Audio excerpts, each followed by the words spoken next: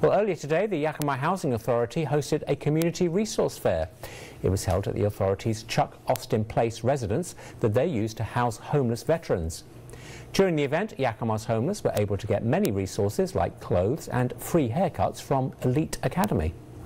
We're hosting a resource fair, uh, bringing on uh, our local service providers, specifically that serve veterans, uh, and basically just giving them an opportunity to share their information, their programs, and their resources to our veteran community.